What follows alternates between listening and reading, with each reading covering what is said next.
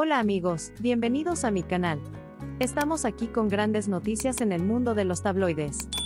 Os traigo la noticia de Kerem Bursin. Y vaya, chicas y chicos, esto es grande, esto no para.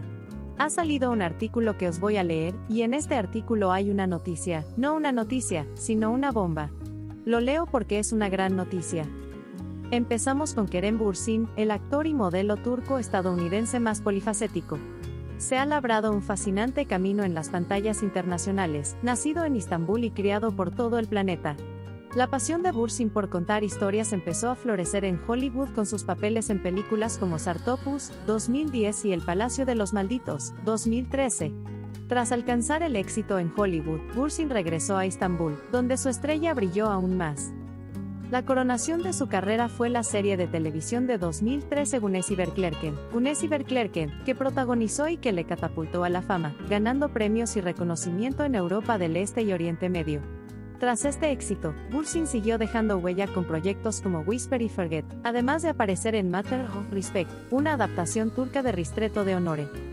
Pero donde realmente brilló en la escena internacional fue con su papel en la serie de 2020 Sensal Capini, Amor a la Puerta, que coprotagonizó junto a Ander Chell. Colaborando de nuevo con el director Artan Dome, la serie batió récords en las redes sociales de todo el mundo y obtuvo nominaciones y premios en numerosos certámenes internacionales. Ahora, en 2023, protagoniza otra serie de éxito, Jazz Observersen, y actualmente participa en nuevos proyectos con Amazon y Netflix.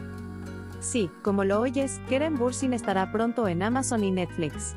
Esto es genial, nos habla de su carrera y por fin suelta la bomba de que quizás podamos ver la nueva serie de Kerem Bursin en Amazon y Netflix.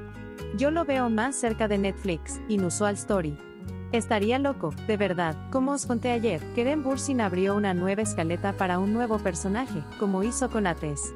Estoy enamorada, lo reconozco, estoy deseando ver lo nuevo de Kerem Bursin. No sé cómo estás tú, pero ahora mismo estoy deseando verte actuar de nuevo. Para allanar el camino, veremos Efrat en los cines en marzo. Espero que se estrene en una plataforma con subtítulos en español o accesible de algún modo, para que podamos disfrutar de la película de Kerem. Ojalá, ojalá, ojalá. A eso me refiero. Esta nueva lista de reproducción que Kerem creó para su nuevo personaje, con la abreviatura TBC, To Be Continued. Abajo, puedes ver que hizo lo mismo para Ates. Cuando me enteré de esta noticia hoy, me encontré con esta bomba que oí que estaría en Amazon y Netflix y me gustó mucho. Mientras grababa este video y buscaba más información, me enteré de que la agencia que representa a Kerem Bursin en España, sí, como lo oís. La agencia española ROR Rings Talents que representa a Kerem, está trabajando en los futuros proyectos de Kerem para plataformas digitales. Así que chicas y chicos, esto es una situación muy seria. Y por último, comparto con vosotros el nuevo contenido de Kerem Bursin para la Semana de la Moda de París.